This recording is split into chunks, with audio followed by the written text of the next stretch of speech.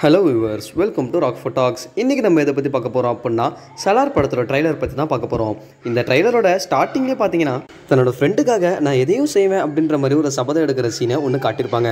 அதுக்கப்புறம் பார்த்தீங்கன்னா கேஜிஎஃப் படத்தோட கண்டினியூன்ஸ்ன்றது நம்ம எல்லாருக்குமே தெரியும். இந்த படத்தை ஹோம்பல் ஃபிலிம்ஸ் தான் ப்ரொடியூஸ் பண்ணியிருக்காங்க. இந்த படத்தோட டேரக்டர் யாருன்னு பார்த்தீங்கன்னா பிரசாந்த் நீல் இது எதோட கண்டினியூஷன் பார்த்தீங்கன்னா கேஜிஎஃப் சாப்டர் ஒன் டூவோட கண்டினியூஷன் தான் நம்ம வந்து பார்க்க முடியும். இந்த படத்தில் முக்கிய கேரக்டராக பிரபாஸ் அவர்கள் இருக்காங்க. அப்புறம் பிருத்திவிராஜ் ஸ்ருதிஹாசனும் இந்த படத்தில் நடிச்சிருக்கிறதா ட்ரெய்லரில் நம்ம பார்க்கலாம். இந்த படம் வந்து பார்த்தீங்கன்னா முழுக்க முழுக்க ஒரு ஆக்ஷன் பிளாக் பஸ்டராக தான் இருக்கக்கூடியதாக இருக்குது.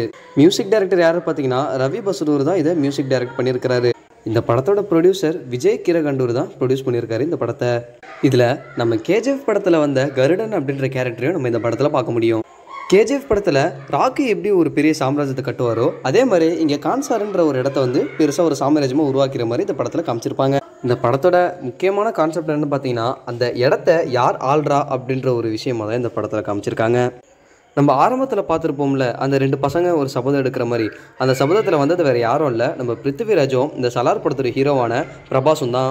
ட்ரைலரோட லாஸ்ட்டில் பிருத்திவிராஜ் அவர்கள் அவருக்கு ஹெல்ப் தேவைப்படுது அப்படின்றதுக்காக நம்ம பிரபாஸை கூப்பிட்ருப்பாரு கேஜிஎஃப் படத்தில் எப்படி ராக்கின்ற கேரக்டரை கேஜிஎஃப்குள்ளே ஒரு என்ட்ரி கொடுப்பாங்களோ அதே மாதிரி இந்த ஒரு இடத்துல கான்சார் அப்படின்ற இடத்தோட கிங்டமை எடுக்கிறதுக்காக இந்த இடத்துல நம்ம பிரபாஸ் அவர்களை ஃபைட்டிங் சீனோட பயங்கரமான ஆக்ஷனோட என்ட்ரி கொடுக்க வச்சுருப்பாங்க. இந்த படத்தோட ரிலீஸ் டேட் பார்த்தீங்கன்னா டிசம்பர் டுவெண்ட்டி டூ தான் சொல்லியிருக்காங்க. நீங்கள் எவ்வளோ இந்த படத்துக்கு ஈகராக வெயிட் பண்ணிகிட்ருக்கீங்க அப்படின்றத கமெண்ட்ஸில் சொல்லிடுங்க அப்புறம் இந்த மாதிரி அப்டேட்ஸுக்கு நம்ம ராக் ஃபோர்ட் டாக்ஸ் சேனலை மறக்காமல் சப்ஸ்கிரைப் பண்ணிடுங்க